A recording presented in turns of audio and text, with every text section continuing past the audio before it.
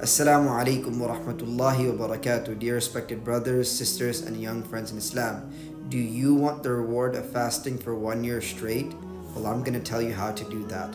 The Prophet ﷺ, he said, Man sama Ramadan, whosoever fasts the month of Ramadan, ثم أتبعه بست من شوال, and then fast six days of Shawwal, كأنما صام الدهر, it is as if that person has fasted the dahr, and the scholars say dahr refers to one year.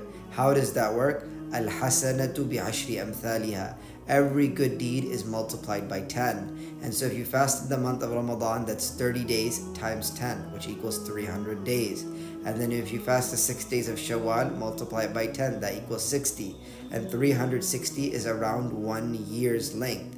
And so you get that full reward if you fast the 6 days of Shawwal. Now, does it have to be consecutive? No, it does not have to be consecutive. In fact, our scholars, they recommend that you should try to fast on Mondays and Thursdays so you can combine two virtues together. The virtue of fasting for Shawwal and the virtue of fasting for Monday or the virtue of fasting for Thursday. And if you want to go a step further, you can actually combine three virtues together. How do you do that? Well, fast on what we call Ayyamul Bid. Ayyamul Bid are days that the Prophet would fast every month. They're the 13th, 14th and the 15th of every Islamic month. And so for this year, I believe the 13th of Shawwal will be on a Monday. So you could do one of those days as well. And so you'll be able to combine three virtues. But in general, try to fast the six days of Shawwal. You'll get the reward of one year. If you try to do it on Mondays and Thursdays, you get two virtues.